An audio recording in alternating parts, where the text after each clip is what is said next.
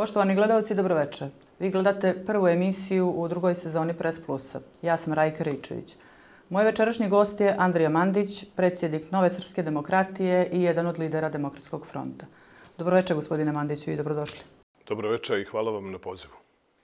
Počet ćemo naravno od najnovih dešavanja vezanih za predsjednika Crne Gore Mila Đukanovića i aferu oko pokušaja da sakrije firme u pet država svijetu. Kako to komentarišete?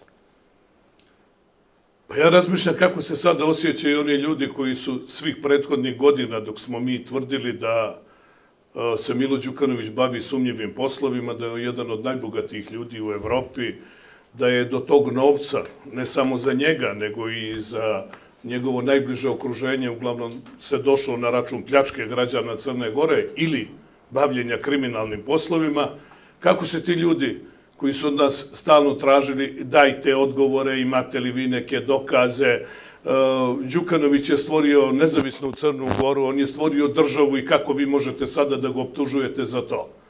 Mi smo i tada, kao i danas, bili čvrsto uvjereni da sve ono što se dešavalo prethodnih godina u Crnoj Gori, a posebno kriminalizacija društva, da je to sve bio plod jedne pogrešne politike koju je vodio Milo Đukanović, a ta politika se upravo pogrešno vodila da bi neko stekao vlastito bogatstvo.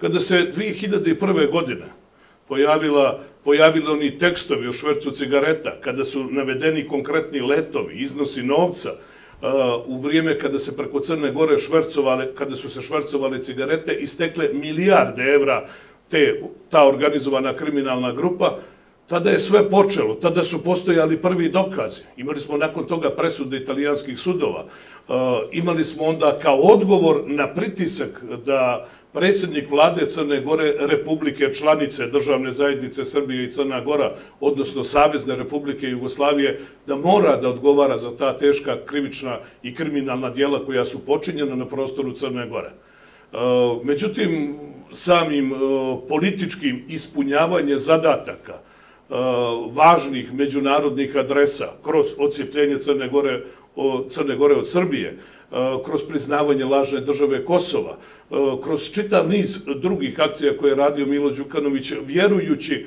da će ispunjavajući zahtjeve određenih međunarodnih centara uspjeti da zaštiti to ogromno bogatstvo, mi smo znali i danas, kao i tada, da će prije ili kasnije sve te kriminalne aktivnosti izaći na svijetlo dana. Da li Đukanović danas, izvinjavam se što vas prekidam, da li Đukanović danas može da očekuje upravo tu podršku koju je imao nekada i da da i koliko piju vodu, da kažem, a, ocjene iz Demokratske partije socijalista da je u pitanju još jedna fabrikovana afera, da je u pitanju izmišljotina i tako dalje. Tako dalje, tako dalje. Prije 20 godina. Đukanović više nije potreban tim međunarodnim partnerima, neko je ipak shvatio, a tu mislim prvenstveno posle jedne velike i obsežne akcije u švercu narkotika prema Sjedinjenim američkim državama, kada je zapliljeno 26 tona kokaina, da je neko shvatio i od tih međunarodnih činilaca da je đavo odnio šalu i da se te kriminalne aktivnosti ne odvijaju samo na štetu građana Crne Gore, kao što je bio švert cigara kada se nije naplaćivala akciza i ubirao porez od prodaje cigara, nego da to postaje jedan planetarni posao gdje se više destinacije ne biraju, gdje se više ne obraća pažnja ko je saveznik, ko je protivnik i da je ta kriminalna organizacija postala toliko jaka da je postala prijetnja ne samo regionu, nego je postala prijetnja i Evropi, postala je prijetnja Sjedinim američkim državama. E, zato ja, ja sam gotovo uvjeren da od tih zaštitnika i ljudi koji su smjeravali dominantno spoljno-političke poteze Mila Đukanovića da neće biti više nikakve zaštite, e, Milo Đukanović i ljudi iz njegovog okruženja raspolažu milijardama evra. E, sigurno će oni ogromnu količinu novca uložiti u razna lobiranja, u pokušaj kupovanja političke podrške na raznim destinacijama, ali on već postaje jedan radioaktivni objekat od koga svi bježa. Tako da, e, da, da to, da li će on moći danas iz ove situacije da se izvuče, kao što se izvukao 2001. kada je postojalo manje dokaze, kada je počinjeno manje krivičnih djela, ja se gotovo uvjeren da ne može pitanje kako će Đukanović da ode sa političke scene, To je pitanje koje, o kome će dominantno razmišljati Milo Đukanović. On ima nekolika izbora, ali jedan izbor koji više ne stoji ni pred njim, ni pred njegovom političkom organizacijom, to da on može više da bude onaj politički činilac i međunarodni faktor na koga se neko oslanja. Prošle godine ste mu na izborima zadali taj politički udarac vrlo jak na parlamentarnim izborima kada je posle 30 godina izgubio vlast, odnosno parlamentarnu većinu. Da li e, jer razotkrivanje ove afere, odnosno računa i svi smo čuli sad da postoje te firme preko kojih on prebacuje imovinu, sve nekretnine i već koliko je već novca u pitanju, tek treba je očigledno da se utvrdi preko trust firmi, ako sam ja to dobro rekla, i računa, kastodi računa, je li tako? Jel možete li, imate li vi e, percepciju o tome šta to znači? Mogu li e, taj novac, upravo koji ste pomenuli malo prije milijarde da su u pitanju, da ga izvuče na neki način situaciju u kojoj se nalazi? Ja mislim da ne može. Ja mislim da samo sa objavljivanjem ovih podataka vezanih e, za trastove koji su osnivali, a koji u pozadini svega govore o tome da osoba koja želi da osnoje takvu kompaniju, e, želi da sakrije vlastiti identitet. Zašto bi neko krio vlastiti, vlastiti identitet, e, osim ako nema neke namjere da izbjegne odgovornost za postupke koje će da napravi, odnosno da prikrije novac koji treba da postane e, sastavni dio tog finansijskog prometa. Milo Đukanović se bavio javnim poslovima. Bio je državni činovnik, bio je državni funkcioner e, njegova plata je bila plata približno mojoj plati ili plati poslanika ili ministra u vladi Crne Gore. Dakle, on nije mogao da stekne nikakav imetak, nije mogao da raspolaže s nikakvim posebnim Čak i da mu je plata bila mnogo visočija nego što jeste. Pa, kaže, sve je to da je, da, imao, da je imao platu predsjednika Sjedinjenih američkih država, ne bi, mogao, ne bi mogao da bude u poziciji da raspolaže sa ovakvim bogatstvom.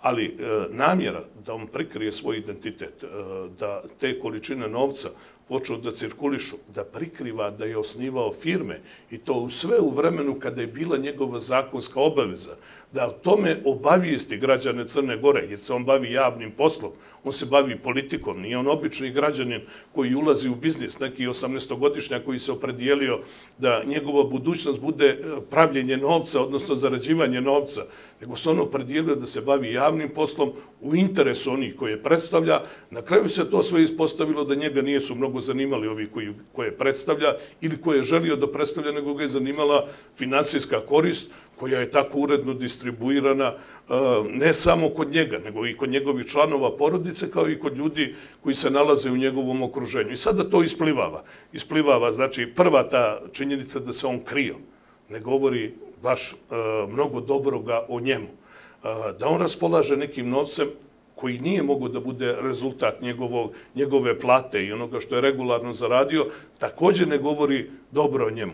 Ovo, ovaj kastodi račun o kome je nešto govorio Duško Knežević, a gdje će se pojaviti ta kompletna priča, i to nije nikakva tajna, samo je pitanje kada će to isplivati, e, kako su se prodavale akcije prve banke, kako se ubirao novac od toga, onda njegovi partneri, koji pod svojim imenima kriju njegovo bogatstvo, Nije to, kaže, više nikakva tajna e, i nije e, Đukanović jedini u Crnoj Gori koji je to radio. Vi znate da tamo ne postoji u toj crnogorskoj oligarhiji koja se odvojila i znamo ta imena, da ne postoji gotovo nijedan od tih iz Demokratske partije socijalista koji nije e, milioner, desetomilioner, stomilioner, milioner, a neki imaju i milijarda. To je taj novac koji je od njih kao političare koje kakve smo poznavali prije 30 godina napravio potpuno druge ljude.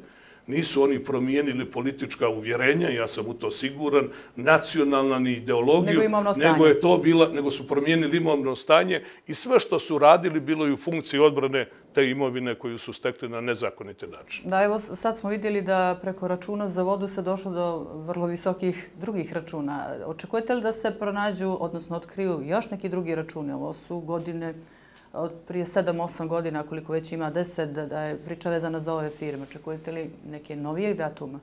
Ja mislim da su ovo poruke i to ne sofisticirane koje se šalju nekadašnjem političkom partneru Milu Đukanoviću s važnih međunarodnih adresa koji mu govore da je došao kraj njegovoj političkoj karijeri i da bi učinio veliku korist E, tim adresama sa kojima je radio zajedno, ako bi se udaljio iz političkog života Crne Gore i omogućio da Crna Gora nastavi dalje da funkcioniše, da postane demokratska zemlja. Znači, on je na nekoj dionici puta koju su trasirali drugi, a ne dominantno građani Crne Gore, odradio neke poslove. I nesumnjivo da, da mu se to negdje uvažava i cijeni i nije odmah prema njemu primjenjen metod koji je primjenjen prema onom Norijegi iz Paname, koji je uhapšen i odveden u Teksas. Prema njemu se šalju signali, evo i ovaj oko trastova, e, kastodi računa oko te njegove imovine u inostranstvu, oko poslova koje je radio u Crnoj Gori, privatizacija Telekoma, a tu vodio sam anketni odbor za privatizaciju, odnosno za korupciju u privatizaciji Telekoma, pa se moglo i tu sagledati i da je postojalo ovog raspoloženja od strane međunarodnog faktora i tada bi se odgovaralo za korupciju kada se privatizovala, privatizovao tako važan nacionalni resurs kao što je Telekom. E, dakle, on je ispunio jedan dio tih obaveza koje je preuzeo za uzvrat zaradio je mnogo novca na nedozvoljeni način. Ne bi mu oni dozvolili nikada da on to zaradi na dozvoljen način, jer im je upravo e, to što, su, što, je, što mu je neko gledao kroz prste, znali su da će valjati prije ili kasnije za konkretnu stvar. Evo je došla na red i ta konkretna stvar, sada idu opomene, ovo su sve žuti kartoni koji se ovih dana od strane međunarodnog faktora pokazuju. Uh, crveni ja sam siguran, dobili, ja sam siguran da će crveni ubrzo uslijediti ako ne bude uvažio i poslušao ono što mu se preporučuje sa strane, jer oni očekuju što je govorio Milošević u, u, u Americi kada su pregovarali oko Dejtonskog sporazuma, kada je pitao, a svjedočio o tome Momir Bulatović, kada je on pitao šta mi to treba da uradimo i dao neki papir da se zapiše koje su to obaveze Savezne Republike Jugoslavije, dobio je jasan odgovor, vi treba da uradite sve ono što mi tražimo od vas. Dakle, ako je Đukanović u jednom periodu opredijelio se da ide tim putem poslušnika, i slušao sve do sada što je bilo na štetu prvenstveno zajedničke države, srpskog naroda, srpske pravoslavne crkve, građana Crne Gore i nije imao dileme da ispuni taj zadatak koji je dobijao. Evo prvi put kada treba nešto da uradi na vlastitu štetu, vidite kakvi su otpori. Zamalo se na Cetinju izazvala oružana pobuna kako bi on pokušao da sačuva svoj, svoj položaj i svoj uticaj koji je imao do nedavno u Crnoj Gori. Da li je time Đukanović pokazao upravo da nije i predsjednik svih građana Crne Gore zbog dešavanja na Cetinju 4. i 5. septembra? Pa naravno da on, nije, on nikada nije bio kao predsjednik Crne Gore predsjednik svih građana i mislim da to njega nije ni interesovalo da bude predsjednik svih građana. Jer da je želio da bude predsjednik svih građana, on bi krenuo drugim putem traže, tražeći mostove sa onima koji nijesu glasali za njega. Međutim, to njega nije zanimalo. Njegmu je bilo važno da otvori to polje e, gdje je mogao da zaradi novac. Njemu je bilo važno da kontroliše sa jedne strane državnu upravu, policiju, službe bezbjednosti i vojsku, a s druge strane da kontroliše organizovani kriminal koji je narastao do neslučenih visina u Crnoj Gori i nemojte da imate dileme da je to moglo Eh, tako da postane, a da nije on bio aktivni sudionik, da nije bio učesnik svega toga, pa rekao bih i neko koji je dominantno usmjeravao u kojem će se pravcu razvijati poslove koji, poslovi kojima se bavi organizovani kriminal. Dakle, od nekadašnjih švercera nafte i cigareta stiglo se do šverca narkotika i naravno nije su zaboravljeni ni ovi prvi švercovi, ovi prvi poslovi vezani za akcije robe. E, dakle, sada, kao u svakoj eh, priči, đavo dođe po svoje kada pravite dogovor sa đavolom, on na kraju dođe i ispostavi vrlo konkretnu, konkretni zahtjev koji se tiče lično onoga koji je zaključivao sporazum. E, nije lako da naš Žukanovića da donese odluku, nije mu lako da donese e, iz jednostavnog razloga što e, ne zna gdje će se sve zaustaviti e, to što je počeo da radi međunarodni faktor. Da li on može da im vjeruje na riječ, da njega niko neće dirati kada se povuče iz politike, da li on može da zaključi neki sporazum sa njima koji bi bio održiv. Vidimo u regionu svi ljudi e, koji su zaključivali takve sporazume da nijesu baš e, na kraju dobro prošli. E, vidimo da ti sporazumi mnogo nijesu vrijeđali, a na drugoj strani ima onaj osnovni problem da je većina građana Crne Gore protiv njega i on više nema šta da ponudi kao odbrambeno sredstvo, recimo da može da kaže mene oće Crna Gora, pa ću ja krenuti nekim drugim putom. Danas je njegova pozicija, kažem, veoma teška i da ne bude zabune, ja ga uopšte ne žalim zbog toga što mu je pozicija teška. Ja mislim da nije trebao prije 20 i više godina da napravi takve izbore.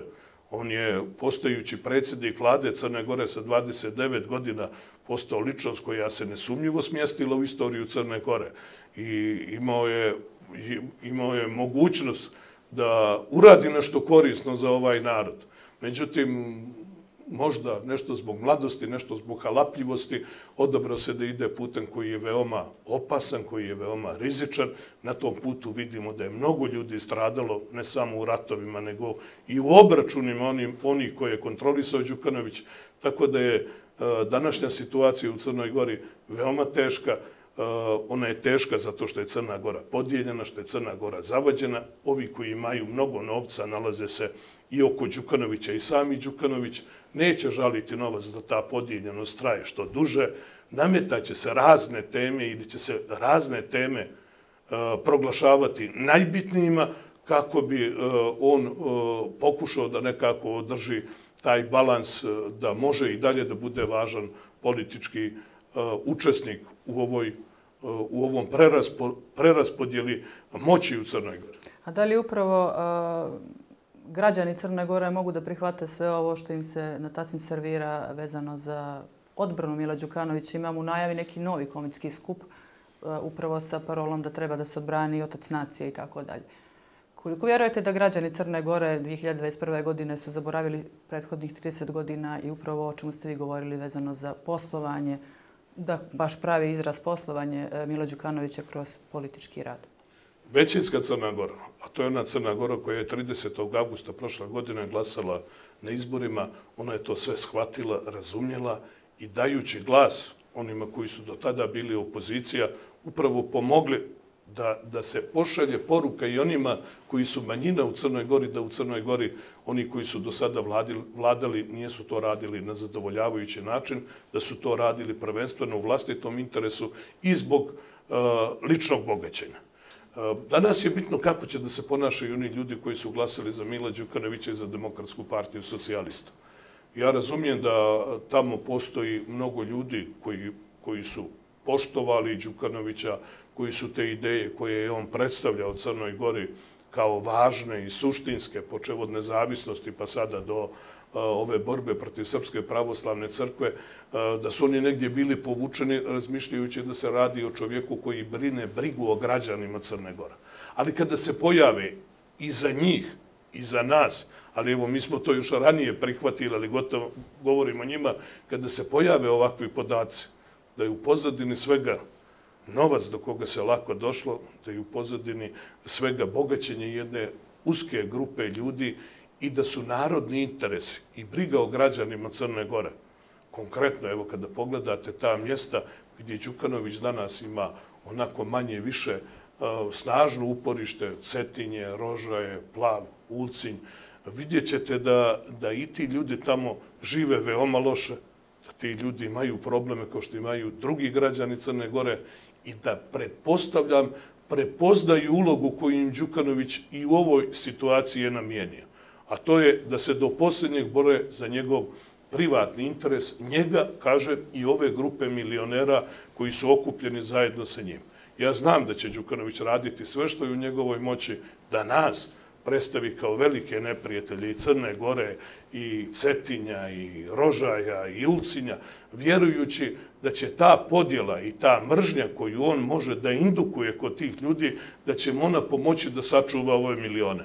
Ali e, sam gotovo uvjeren da svakog dana, danas Đukanović ima više pristalica nego što će ih imati sutra. A tako će biti iz dana u dan i to se kruni ono što je problem... Da li će pad te podrške pristolice, izvinjavam se što vas prekidam, pratiti i reagovanje recimo državnog specijalnog tužiljaca Milivoja Katnića koji je bio vrlo ekspresan kad ste vi lično u pitanju i demokratski front? Pa on je I uradio... državni udara, da li će biti u slučaju Milo Đukanovića? Do sada nije, a imao je prilike. Pa ja sam siguran da neće. I sada to što je javnost ovako burno reagovala na ove najnovije podatke koji su se pojavili u javnosti i koje je saopštio Mans, prosto napravljeno je, napravljeno je samo jedan potez koji se čini i po anonimnoj dojavi, da ste napravili neku anonimnu dojavu, tužilaštvo je dužno da formira predmet i da otvori izviđaj. Vjerujući da će protok vremena prosto učiniti to, sa to stvari ono da se zaboravi o čemu se radilo. Ja nemam nikakve dileme da je Milivoje Katnić kao i većina ljudi u tužilaštvu Crne Gore da su potpuno u funkciji Mila Đukanovića, da su potpuno u funkciji ove politike, da čak i u borbi protiv organizovanog kriminala i korupcije da se taj posao radi selektivno, e, da uglavnom oni dijelovi organizovanog kriminala koji, e, koji smetaju crnogorskom režimu, bivšem crnogorskom režimu, da se sa njima vodi obračun, da oni drugi dijelovi koji su i dalje lojalni Đukanovićevim strukturama da njih niko ne dira, čak im se i pomaže od pojedinih policijskih i tužilačkih struktura. Mi imamo problem kako da nakon pobjede od 30. augusta izgubili smo puno vremena da nismo uspjeli da očistimo te trule daske iz državne uprave, iz pravosuđa, iz tužilaštva. Prosto sa tim ljudima taj posao ne može da se radi. Ali evo, računam da će veoma brzo doći do do takve situacije da ćemo u tužilaštvu imati nove ljude, da ovi zamoreni i povezani sa ovako preko vlasti povezani sa organizovanim kriminalom te strukture, da će one neki od njih odgovarati, neki ići u penziju, ali u svakom slučaju neće se baviti više ovim poslom na nezadovoljavajući način kako je to do sada radilo tužilaštvo i ukupno pravosuđe. Da li će ih ova mala digresija, da li će ih taj odlazak u penziju abolirati za prethodni rad? Ne, niko ne smije da bude aboliran. Prosto će kada se dođe do promjena u tužilaštvu, do promjena u pravosuđu, kada dođe do promjena u državnoj administraciji, a posebno kada dođe do promjena u policiji koje su nam neophodne, da to ne budu kozmetičke promjene, onda će se otvoriti jedna ja, ja, se, ja se plašem da kada se to sve otvori i kada te informacije zapljusnu u našu javnost, da će to biti jedno tako snažno otrežnjenje za svakog građanina Crne Gore, da će mnogi ljudi žaliti zašto smo čekali do 2020. godine ovaj posao sa smjenom ovog režima nijesmo odradili ranije.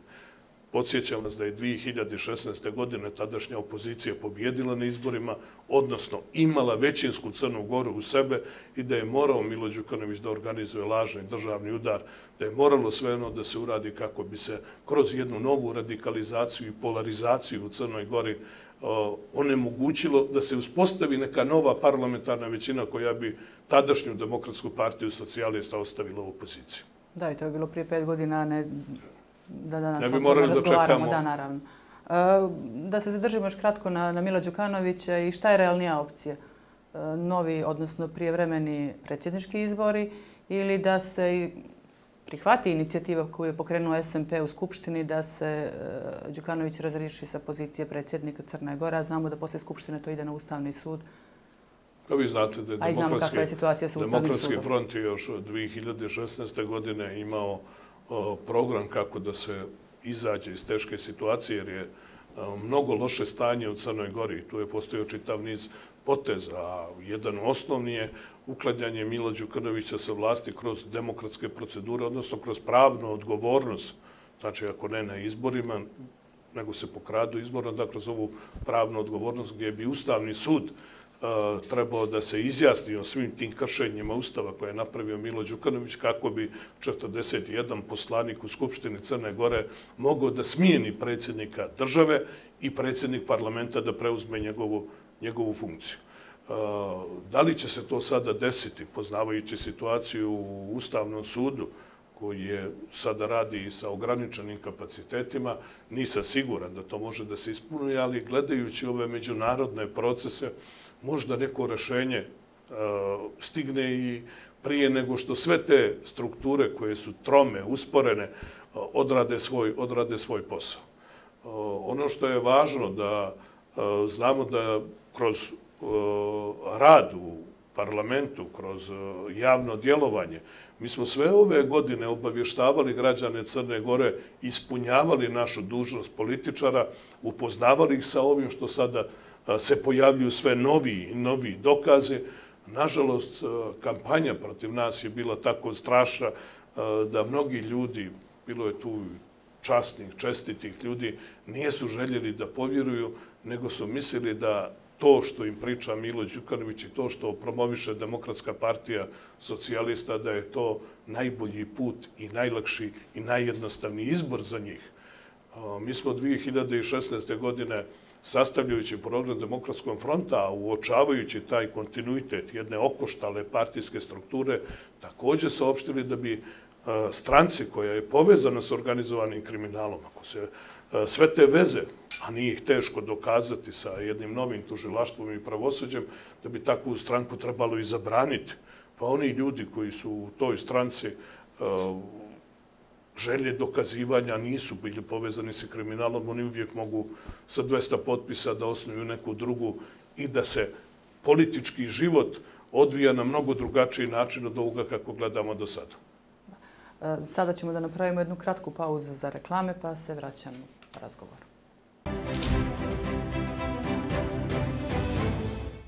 Nastavljamo razgovor sa gospodinom Andrijom Mandićem.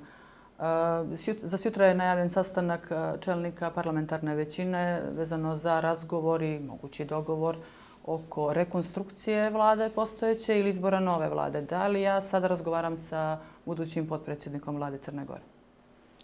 Daleko je do toga. Mi imamo razgovore i niko ne može eh, predvidjeti kako će se ti razgovori završiti.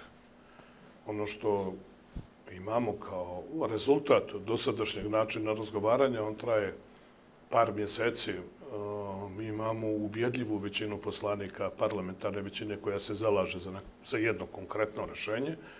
I imamo drugu strukturu predvođenu političkim pokretom URA koja se zalaže za drugo rešenje, to jest izbor nove vlade. Moram vam reći da i Demokratski front se zalagao za izbor nove vlade, ali smo kroz porazum E, i kroz dogovor sa Demokratskom Crnom Gorom koja je čvrsto stajala na pozicijama rekonstrukcije mi rekli, mi smo njima saopštili da je važno e, da postignemo neki dogovor, jer smo i svi ocijenili da je postojeće stanje neodrživo. Kada je formirana ova vlada 4. decembra prije njenog formiranja, e, mi smo napravili dogovor da ćemo nakon 200 dana vlade ocijeniti njen učinak. Toliko je tada i premijer tražio od nas vremena za, za rad njegovog kabineta kako bi nam pokazao određene rezultate sa kojima ćemo mi biti nezadovoljni, nego prezadovoljni. Kroz Na skali od 1 do 10, koliko je, koja je ocjena rada vlade? Pa nije prelazna. Moram vam reći, za tih 200 dana ta ocena nije prelazna.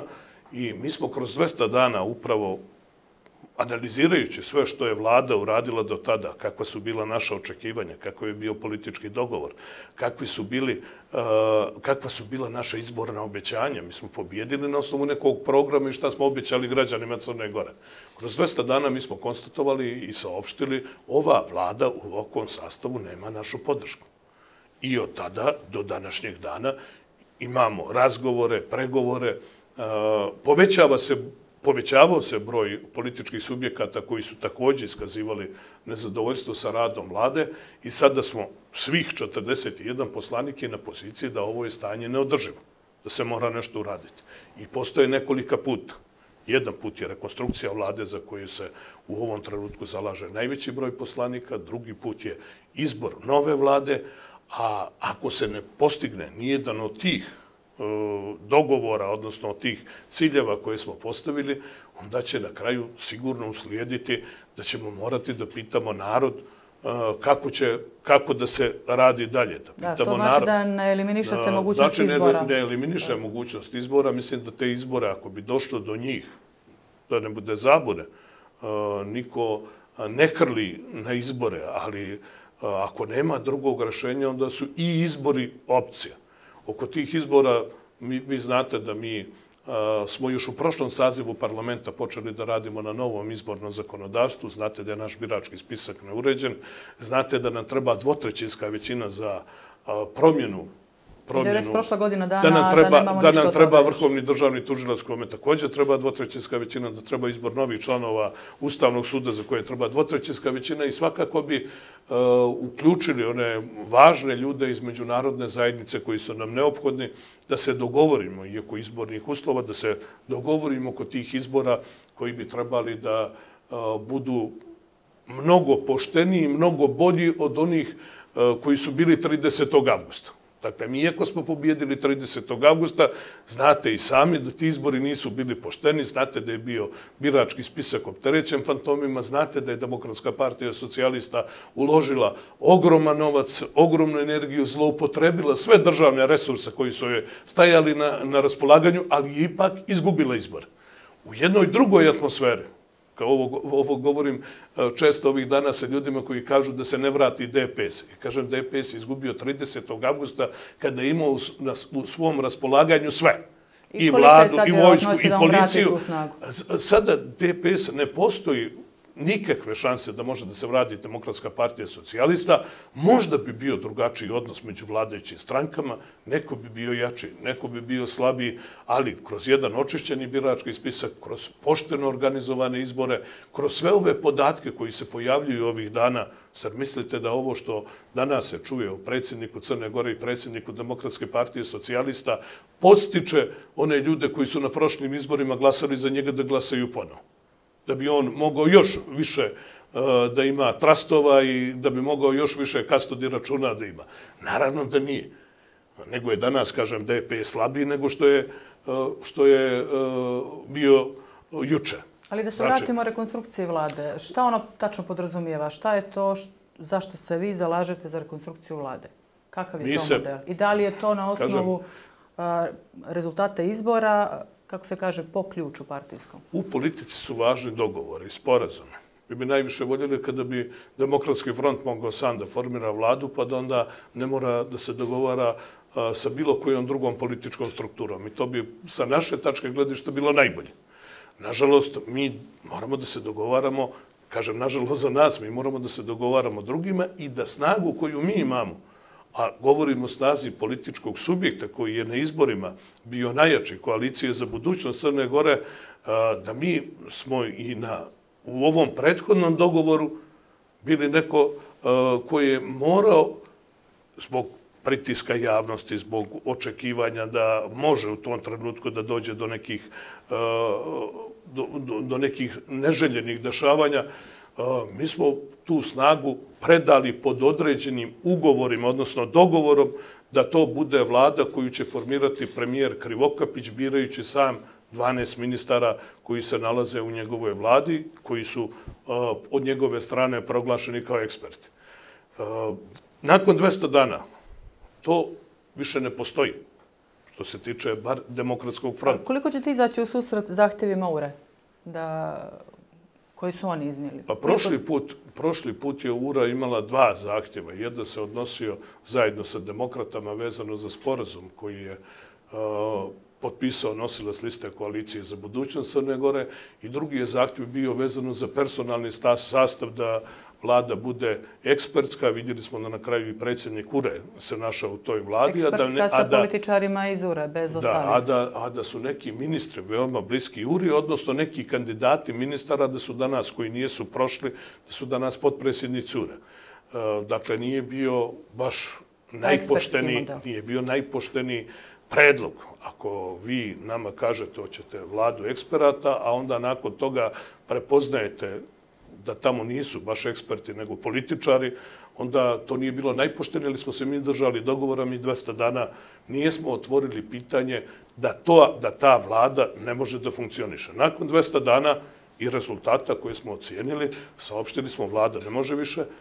Željeli smo novu vladu, ali zbog ovog sporazumijevanja prvo smo se dogovarali sa onim subjektom koji je jači u parlamentarnoj većini, a to su demokrate koji su čvrsto stajali na poziciji rekonstrukcije vlade i mi smo prihvatili da je pokušamo taj model.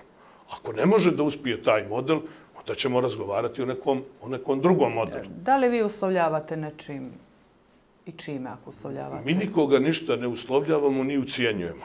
ali e, ne pristajemo da budemo ucijenjeni. Želimo da se politički život u Crnoj Gori živi onako kako se živi i u drugim demokratskim zemljama. Dakle, ono što vam je dao narod na izborima, te akcije i najvrednije što su imali, dali su vam podršku, želimo da se ta podrška prepozna i u vlade. Tako se vlade formiraju svuda u svijetu. Jedino je u Crnoj Gori postoji određeni eksperiment koji je bio i tekako loš i nije e, dao rezultate koji su bili najavljeni i nije ispunio izborna obećanja koja smo dali građanima Crne Gore.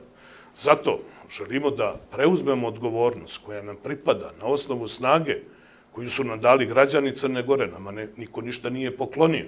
Poklanjali smo mi drugim, nego su građani Crne Gore nama dali snagu koju želimo da se pretoči i kroz poluge odlučivanja kako bi na narednim izborima mi mogli da se pojavimo pred građani da kažemo evo vi ste nama dali snagu, dali ste nam poziciju da možemo nešto da uradimo i mi smo uradili ovo, uradili ovo, uradili ono. Mi smo veoma ponosni kako su naši ljudi koji su bili raspoređeni po dubini, a evo nismo imali vladu, kako je dobar posao uradio Milutin Đukanović i drugi ljudi u elektroprivredi Crne Gore. Veoma smo srećni sa tim rezultatima, sa idejama koje su tu otvorene. Kako je bilo u nacionalnim parkovima, kako je na svim onim drugim mjestima. Pogledajte sad danas našu uh, upravu za imovinu, katastar. Sve je to mnogo bolje nego što je bilo u vrijeme, u vrijeme bivšeg, bivšeg režima. Ali ako vi nemate onu najvaž, onaj najvažniji uticaj preko tijela koje vodi unutrašnju i spoljnu politiku, onda vi ne možete da realizujete ono što ste obećali građanima Crne Gore. Ja svakog dana u Novoj Srpskoj demokratiji primam od 20 do 40 ljudi. Svakog dana razgovaram sa ljudima koje ne želi niko da primi u vladi. Ti ljudi ovdje u Novoj Srpskoj demokratiji meni prenose poruke da su oni kucali na vrata i eksperata i premijera ali oni su oni su oni su članovi oni su članovi da oni su članovi naše stranke. Oni su glasali za koaliciju za budućnost Crne Gore. Oni su glasali sa vjerom da će nešto da se promijeni. I oni danas dolaze kod Andrije Mandića ili nekog drugog političara iz naše koalicije tražeći pravdu tražeći da se ispuni ono što je obećano onaj ko je došao u vladu a da nema nikakvu obavezu prema tim ljudima nego se odjednom pojavio e, bez ikakvog ugovora sa narodom. Njemu je lako te ljude da ne prime, jer on nema nikakvu obavezu prema njima. Ali nama nije lako. Mi želimo da te ljude, ono što smo im obećali, da ispunimo. Zato je neophodan uslov da politička E, moć koja nam je data od strane naroda bude preslikana i u onom najvažnijem izvršnom tijelu u izvršnoj vlasti koje se zove vlada. Dakle, nikoga ne ucijenjujemo, ne prihvatamo ucijene, ako neko može da vlada bez 17 poslanika u Skupštini Crne Gore parlamentarne većine koji broji poslanički krug Demokratskog fronta, odnosno Nove Srpske demokratije, Demokratske narodne partije, Ujedinjene Crne Gore radničke, uh, radničke partije, uh, onda, onda taj mora, onda taj, taj mora da, da, da razumije da to baš i ne ide lako. Pa, fakat je da URA ima najmanje mandata, i da, ali najviše mjesta u vladi. E, da li je za ovih, pa nije još godinu dana, ali proteklih 11 mjeseci, e, predstavnici URE u vladi i uopšte oni su imali bezbjedonosni sektor uglavnom. Da li su opravdali očekivanja, da li ćete im dati opet bezbjedonosni sektor? To je sve stvar, to je sve stvar je ono razgovora i dogovora. Mi sada imamo problem, još, još nije definisano, moramo ići redom, još nije definisano da li će da se bira nova vlada ili će da se pravi rekonstrukcija postojeće vlade. Kada tu temu raščistimo, da li se bira ili se, onda ćemo imati i odnos prema tome. Neko mora da nam saopšti šta je njegov predlog. Ono što mogu da kažem u ime Demokratskog fronta, kao što ne pristajemo da nas bilo ko ucijeni, tako nećemo nikog ucinjivati, ali ćemo jasno zadržati naš metod političke borbe i kažem ko može bez parlamentarne većine, gotovo pola poslanika parlamentarne većine, da upravlja Crnom Gorom, da donosi zakone sa demokratskom partijom socijalista ili na neki drugi način, taj neka proba. Mi imamo obavezu prema ljudima koji su nas glasali, mi smo, mi nikada nikoga nismo prevarili, svaki dogovor sa nama je bio jasan, što dogovorimo, to će biti tako, mi nikoga nismo slagali, mi tražimo pošten politički dogovor, kao što je bio pošten politički dogovor da 200 dana ova vlada napravi određene rezultate koji su nam bili obećani, a do kojih na kraju nijesmo stigli i pošteno smo im saopštili što se tiče nas, ova vlada više nema podršku. Sa tom činjenicom, da li će neko da računa ili neće da računa, to je njegov problem. Ovako stanje je neodrživo, tu su se složili svi poslanici, kako će se dalje stvari razvijati, mi želimo dogovor i ne treba to da krijemo, i nego javno saopštavamo da smo za dogovor, a ovo kada napravimo taj osnovni bazični, da li je nova vlada, da li je rekonstruisana vlada, kada pređemo tu dionicu, onda će ove teme o kojima vi sada govorite o bezbjednostnom sektoru, sve će se prevrednovati. Ja sam siguran da oni koji su loše radili, da oni koji nijesu dali rezultata, da onaj dio vlade koje je narod prepoznao kao veoma loš, da su oni ti ljudi, pa i čak i političke strukture koje su bile na tim mjestima, da je prosto to neodrživo. Danas je bio odbor za bezbjednost na koji je trebao da dođe i potpredsjednik vlade Dritan Abazović i direktor policije i ministarka odbrane Injac nisu se odazvali pozivu, odnosno nije se nastavilo kontrolno saslušanje niti obavilo saslušanje kako je planirano. Zbog toga vas i pitam da li bi sektor bezbjednosti trebalo da se zadrži u ovim okvirima ili da pripadne demokratskom frontu. Pa prosto registrovali smo mi ranije prije nego što smo odustali od dolazaka na plenarno zasjedanje Skupštine Crne Gore, da postoji jedan bahati odnos prema Skupštini, posebno prema radnim tijelima Skupština. Tako da oni koji je izabrala Skupština, oni misle da su oni iznad Skupštine i ponašaju se ovako da ne dođu na odbor, da mogu da urade ovo ili ono.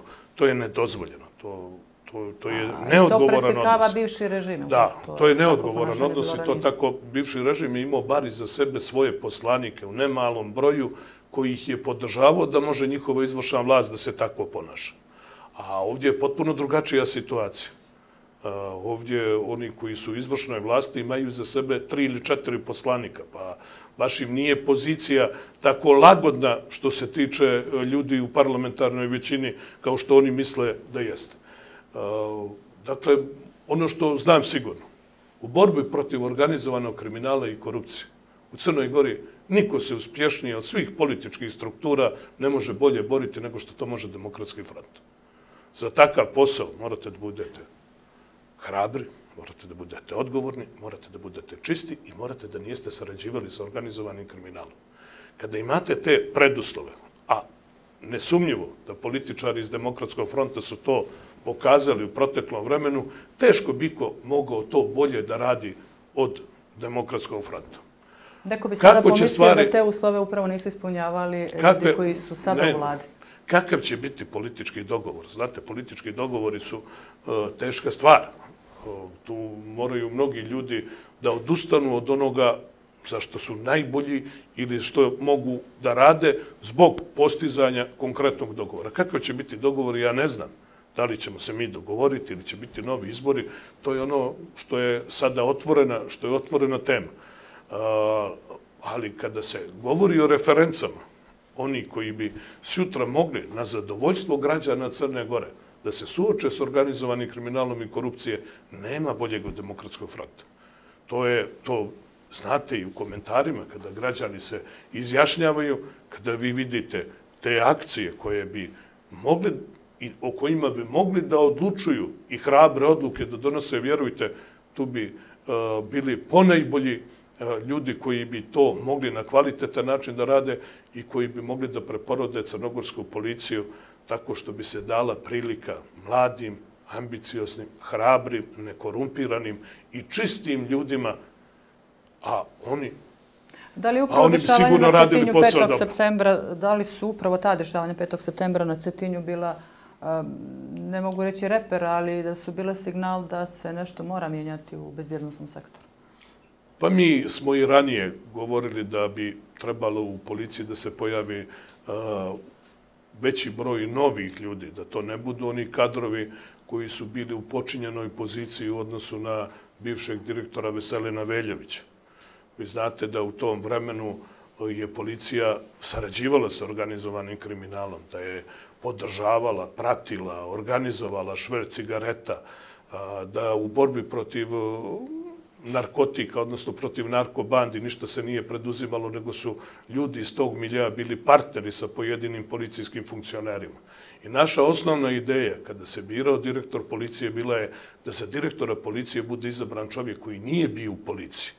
Dakle, da na čelu menadžmenta policijskog stoji čovjek koji nema nikakav istorijat, gdje neko može da mu kaže ti si kao moj načelnik centra bezbjednosti meni obezbjeđivao kamione cigara prema rožajama ili si mi puštao ovoga ili si završavao onoga, to je sve bilo suprotno zakonu e, i da postoji takav jedan odnos između bivšeg direktora policije i bivšeg menadžmenta i aktuelnog menadžmenta. Ali vjerujem da bi dakle, vam kontraargument dakle, tome bila upravo, izvinjavam se što vas prekidam, zapljena onolike količine droge e, prije mjesec dana koliko je bilo u Crnoj Dakle, samo da završim ono što sam počeo.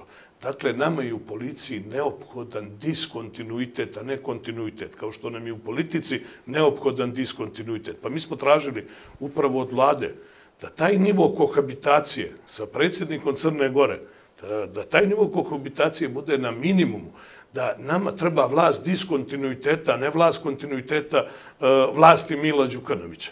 To je, to je tražio narod. I to je to nakon obaranja jednog totalitarnog diktatorskog režima, upravo je to trebalo da se uradi.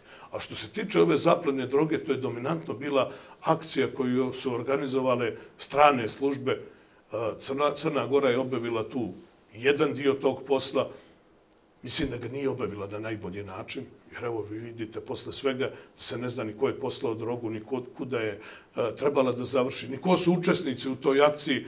Imamo dvoje ljudi koji su vlasnici tog tovara banana koji su prošli, koliko imamo informacije, prošli, tome, prošli poligraf, pošli poligraf da oni nemaju pojma šta se nalazilo u njihovom tovaru banana.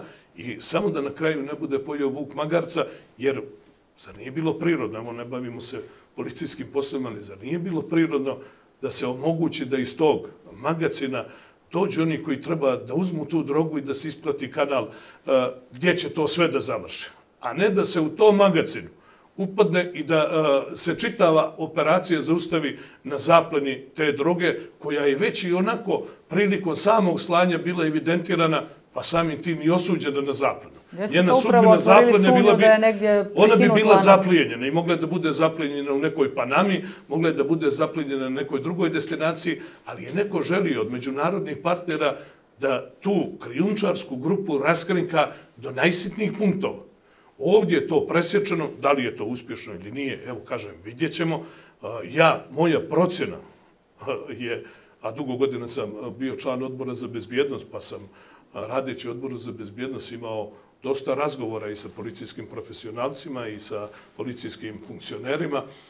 U takvim situacijama uvijek su policija i istražni organi zainteresovani da razotkriju čitavu mrežu. Mi danas imamo uhapšenog oca i čerku koji se brane sa tim da su oni naručili banani da nemaju pojma šta se nalazi u tim kartonima banana. Što će reći da po vama to nije bila uspješna akcija, tako? Jer nemamo više nivo svega toga. Uspješna akcija, zato što je zaplijenjeno 1600 kg ili 1400 kg droge. To, je, to mora da se pozdravi, da je to dobro, ali kada sagledate čitavu akciju da je on, ta droga registrovana a, na početku njenog puta, da je samim ti bila osuđena na zapljenu, mogla da bude zapljenjena još u Latinskoj Americi, tako da ne možemo baš tako snažne aplauze udarati uh, čitavoj toj, toj akciji. Sada ćemo još jedan reklamni blok da odgledamo, pa se vraćamo razgovoru. Nastavljamo razgovor sa gospodinom Andrijom Mandićem. E, prije nego pređemo na naše lokalne ponovo teme vezane za izbore koji nas čekaju, E, možete li mi kratko prokomentarisati izjevu, odnosno tvrdnju e, gospodina Đilasa da ste vi produžena ruka Aleksandra Vučića? Jeste li? Naravno da nisam produžena ruka ničija, ni ja, ni Demokratski front, ni moj kolega Milan Knežević, koga su također prozivali u toj emisiji. To je kampanja koja se vodi protiv Demokratskog fronta i kampanja u kojoj se želi nama nanijeti štetu. Oni koji su svačije produžene ruke, najbolje prikrivaju to što će nekoga drugoga da optuže da je sličan njima. Nova srpska demokratija, ja lično nemamo kome da se pravdamo, niti želimo da se pravdamo bilo kome. od kako smo osnovali novu srpsku demokratiju, mi smo partneri sa Srpskom naprednom strankom koja je osnovana isto te 2008. godine. Mi smo jedina stranka iz regiona koja je na izborima 2012. godine podržala Srpsku naprednu stranku. Jedina srpska stranka iz regiona koja je to uradila. Sve druge stranke, bilo one srpske ili nekog drugog naziva, podržavali su protiv kandidata, tadašnje kandidata za predsjednika Srpske napredne stranke.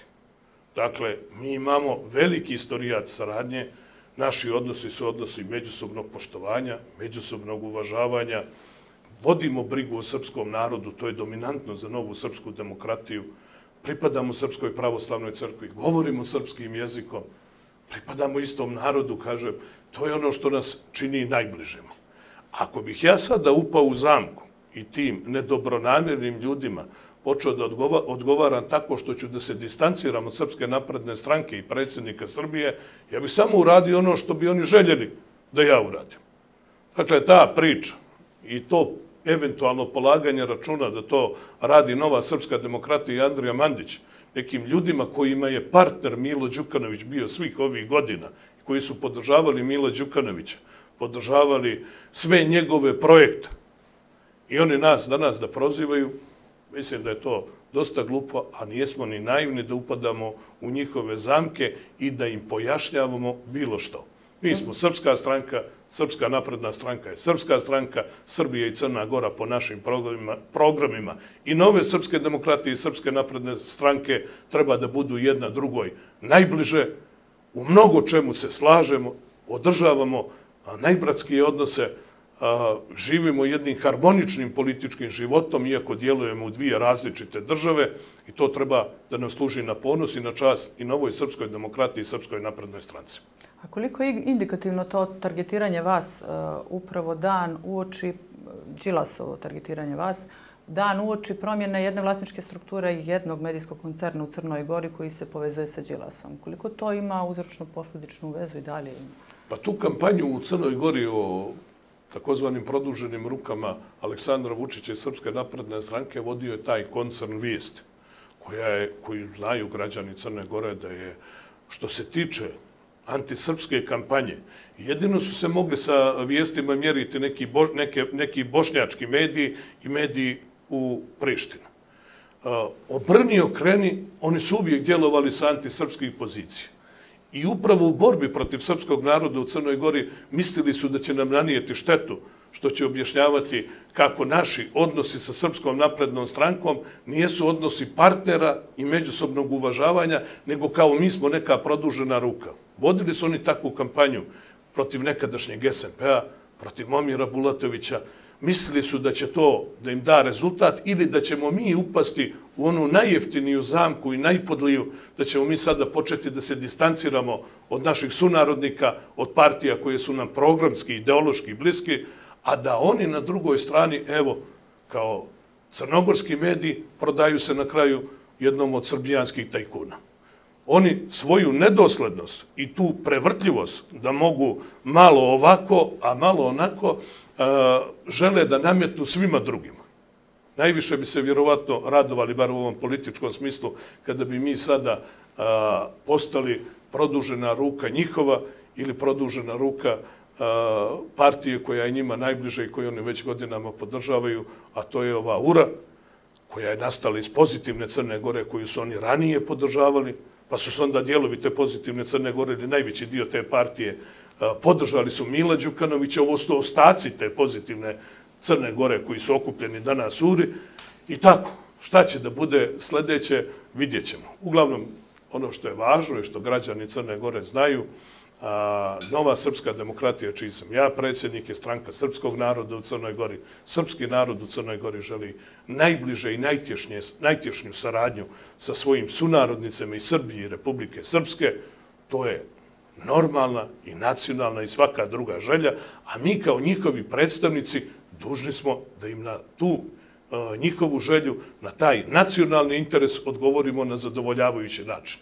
Kako bi mi bili srpska stranka kada bi bili posvađani sa vlastima Srbije i vlastima Republike Srpske i objašnjavali kako mi ovdje gdje živi nekolike stotine hiljada Srba, smo mnogo više u pravu nego one države koje u sebi imaju milione i milione naših sunarodnika koji su isti kao mi i koji takođe imaju neku svoju politiku i svoje razmišljanje.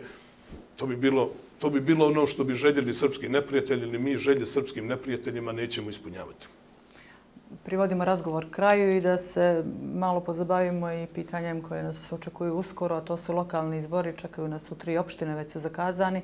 Hoćete li e, nastupiti koalicijono pod jednom listom ili pojedinačno ili kako? Imate li već sad plan vezano za nastup na izborima u decembru? Petnica, Mojkovac i Cetinje? Ja očekujem da će koalicija za budućnost Crne Gore, koja je nastupila i na izborima u Nikšiću i na izborima u Herceg Novom, nastupati na narednim lokalnim izborima. Mislim da ćemo pronaći dogovor koji je optimalan i zadovoljavajući. E, direktno će na naredne lokalne izbore uticati ovaj odnos e, vezano oko vlade, kakav će biti, da li će biti izbora, neće biti izbora, da li ćemo se dogovoriti, nećemo se dogovoriti. To je ono što će vjerovatno značajno uticati na te, na te naredne izbore.